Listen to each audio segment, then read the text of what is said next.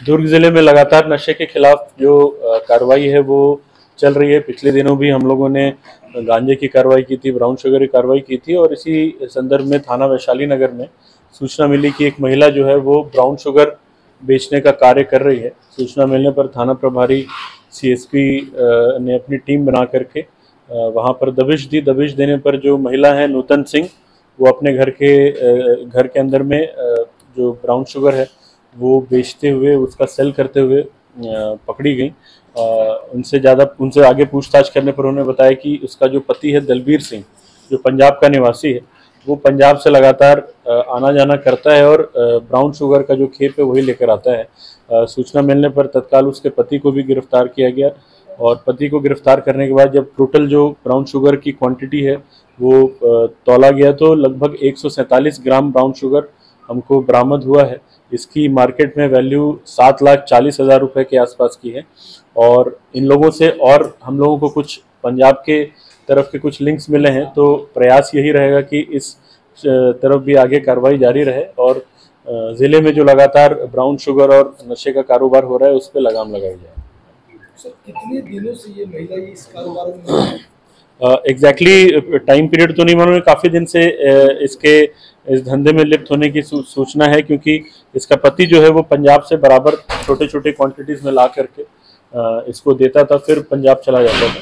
तो लगभग अब टाइम पीरियड तो मुझे एग्जैक्टली पता नहीं है कब से कर रही है, काफ़ी पहले से दिन कर रही है। छः महीने से, लगभग छः महीने से ये ये धंधा कर रही थी। सर, लगभग छह महीने से ये महिला कर रही तो मैं एक महिला गांजे की तस्करी कर रही से मतलब ये लोग ना पेशेवर है और एक आइडेंटिफाई लोग हैं मतलब यही लोग करते हैं। तो को मतलब के हैं? देखिए पुलिस कार्रवाई करती है, उसके बाद हम लोग न्यायिक कार्रवाई के लिए कोर्ट में दे देते हैं। कोर्ट में जमानत देना उनके विशेष, उनका विशेषाधिकार है। एक बार जब वो जमानत दे देते हैं, फिर ये वापस आते हैं। अब उसके बाद इनको शायद जेल का डर निकल जाता होगा या जो भी होता होगा दोबारा करते हैं। जब दोबारा करते हैं हम फिर दोबारा इनको पकड़ने का प्रयास करते हैं। एनडीपीएस की कार्रवाई में इम्पोर्टेंट है कि जब्ती उनके पास से होना चाहिए क्योंकि अब ये लोग क्या पेशेवर हो जाते हैं तो कई बार ऐसा भी होता है कि हम इनके ऊपर निगाह रखे रहते हैं लेकिन ये कहीं और से सप्लाई का काम चालू कर देते हैं।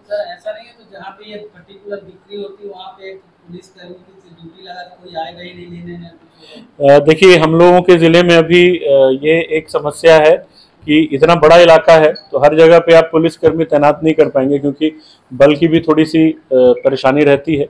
अलग अलग बंदोबस्त और व्यवस्था में ड्यूटी लगी रहती है तो एक एक पॉइंट पे एक एक सिपाही तैनात करना थोड़ा मुश्किल रहता है। बट ये है कि आप लोगों के माध्यम से सूचना मिलती रहे, जानकारी मिलती रहे तो हम लोग कार्रवाई करते रहेंगे, पब्लिक के माध्यम से भी जानकारी मिलती रहे तो हम कार्रवाई करते रहेंगे।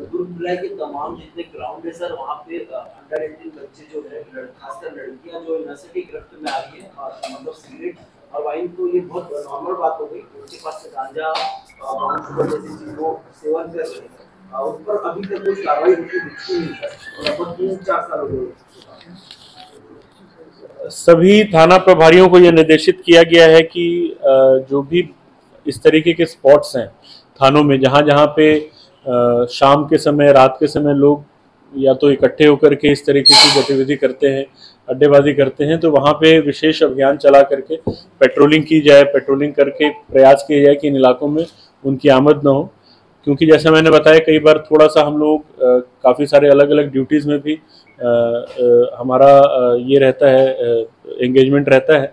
तो रेगुलरली ये कार्य हो नहीं पाता है लेकिन प्रयास ये रहेगा कि लगातार कार्रवाई करें ताकि इस तरीके की जो जो जमावड़ा है उस तरह का जमावड़ा न हो सके। आज भी मॉर्निंग में जो हम लोगों ने तालपुरी में कार्रवाई की है वो कहीं ना कहीं ये संदेश देने के लिए कि कहीं पर भी कुछ अवैध टाइप की गतिविधि अगर चल रही हो तो पुलिस घेराबंदी करके उस पर कार्रवाई करेगी। सर वहाँ के लोग तो बोल रहे हैं कि बहुत दिनों से ये संदिग्ध जो भी काम है वहाँ बहुत दिनों से चल रहा है। देखिए लोग बाद में बोले तो उससे कोई फ़ायदा नहीं है। अगर समय रहते हमको सूचना देते तो हम पहले कार्रवाई कर लें। आज की जो आज की जो कार्रवाई थी, वो स्पेशली किसी एक संदिग्ध गतिविधि के लिए नहीं थी। वो एक जनरल एंड सर्च का हम लोगों ने प्लान किया था। जो जो ऐसे इलाके हैं जहाँ पे पहले रिकॉर्ड रहा है कि जहाँ से यार मतलब थोड़ा सा डिस्टरबेंस रहा है, जहाँ पे जहाँ पे अवैध गतिविधियाँ चल रही हैं, उन इलाकों में हम लोग लगातार आगे भी दबिश देते रहेंगे, कार्रवाई करते रहेंगे। तो ज़िले में मोहन नगर थाना क्षेत्र में ही पाया जाता था। अब धीरे धीरे पूरे ज़िले में ये अपना पैर पसार रहा है। तो इसको रोकने के लिए क्या कुछ इंतज़ाम जैसे ये वाला ये वाली जो कार्रवाई है इसमें जो सोर्स है वो पंजाब से हमको पता चला अभी तक। जनरली हम लोग नागपुर की तरफ़ के अ, का सोर्स रहता था। नागपुर वाले आ, चेन को ब्रेक करने में काफ़ी हद तक सफलता मिली है। काफ़ी सारी कार्रवाई पहले भी हुई है उसके कारण नागपुर का चेन थोड़ा ब्रेक हुआ है। तो इसी प्रकार से प्रयास करेंगे कि इधर का भी जो चेन है उसको ब्रेक किया जाए। और जैसा मैंने कहा इसमें सूचना बहुत इंपॉर्टेंट है। आपके माध्यम से पब्लिक के माध्यम से अगर सूचना हमको मिले तो हम ज़्यादा बेहतर कार्रवाई कर पाएँगे।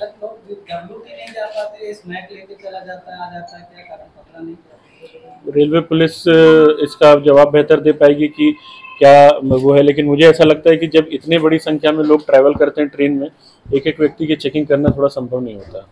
क्या कैसे लाता था ये? किस तरीके से लाता था? ये बहुत बड़ी क्वांटिटी नहीं लाता था। छोटे छोटे छोटे छोटे क्वांटिटीज को पुड़िया में बना करके ले आता था। सर जहाँ पे बच्चों का जमावड़ा होता है आज में यूथ का जमावड़ा है वहाँ पे जब पुलिस आती है तो सायरन मार के आती है और सबके सब भाग जाते हैं। कई हादसे हो चुके पुलिस कई बार दबिश करने की कोशिश करती है। हम नहीं बोल सकते पुलिस काम नहीं कर रही है पर जैसे पुलिस की गाड़ी की लाइट दिखती है या सायरन दिखता है लोग वहाँ से भाग जाते हैं। भिलाई में बहुत सारे क्राइम स्पॉट्स है। दुर्ग में क्राइम स्पॉट्स है पर पुलिस के आने से पहले लोग गायब हो जाते हैं। तो इसके लिए आप कुछ करिए सर कि सायरन बिना बजाए या फिर सिविल गाड़ी में जाए सिविल ड्रेस में पुलिस वाले बिल्कुल आपकी बात सही है। अ, कई बार सायरन दिया भी इसलिए है कि पुलिस की उपस्थिति दिख सके।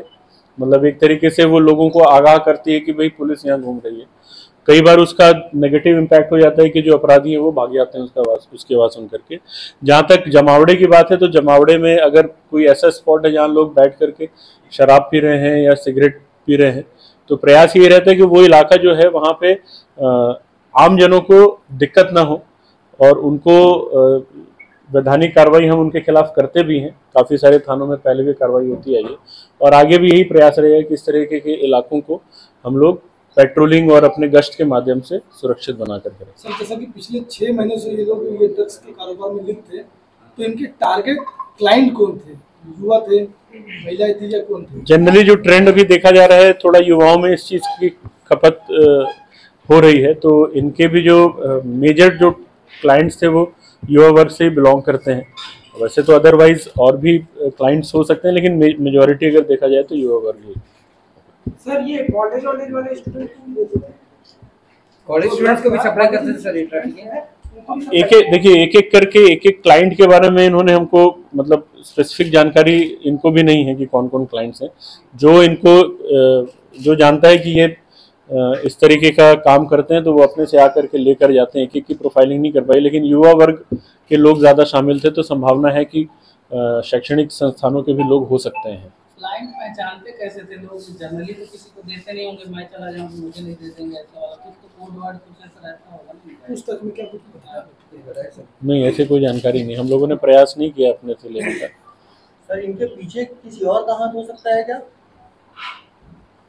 किनके कोई पीछे? सिंडिकेट कोई सिंडिकेट या माफिया जैसे वो पूछना चाह रहे हैं। तस्करी कर रहे हैं हाँ मैंने बताया आपको जो हस्बैंड है वो पंजाब से लेकर आता था। वो खुद ही जाता था पंजाब लेने और वहीं से लेकर के आता था। एक कुड़िया का क्या रेट बेचते थे यार अब जानकारी मिला गुड़िया का क्या क्या रेट है अलग अलग है ऐसे कुछ फिक्स रेट नहीं है इनका। लाते थे और अपने का कस्टमर जैसे एक सौ सैतालीस ग्राम का कीमत लगभग मार्केट में हम लोग सात लाख चालीस हज़ार आंक रहे हैं अभी। तो उस हिसाब से आप एक पुड़िया में अगर एक ग्राम है तो आप समझ लो कि कितना मैच करना पड़ेगा सौ रुपये ढाई सौ ढाई सौ के आसपास देते हैं अलग अलग ऐसा कोई फिक्स नहीं था कि इतना ही लाना है वो अलग अलग टाइप के। ये लाता था सप्लाई करता था कुछ दिन रहता था फिर चला जाता कोई फिक्स पैटर्न नहीं था कि इतने दिन में आएगा और इतना ही क्वांटिटी लेकर आएगा। जितना ये क्या आगे जो इनके जो पीछे जो चेंज हुई है वहाँ तक जाने की बिल्कुल मैंने आपको पहले ही बताया कि इनसे जो भी जानकारी मिली है उस पर भी हम लोग काम कर रहे हैं और कोशिश करेंगे कि इस चेन को भी ब्रेक किया जाए।